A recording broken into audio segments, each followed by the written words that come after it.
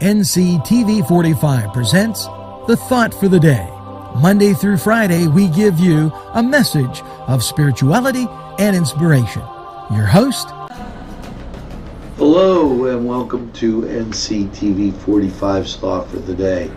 Today's thought make a joyful noise. Make a joyful noise to the Lord, all the earth. Worship the Lord with gladness. Come into his presence with singing. Know that the Lord is God.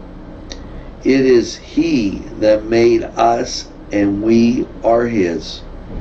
We are his people and the sheep of his pasture.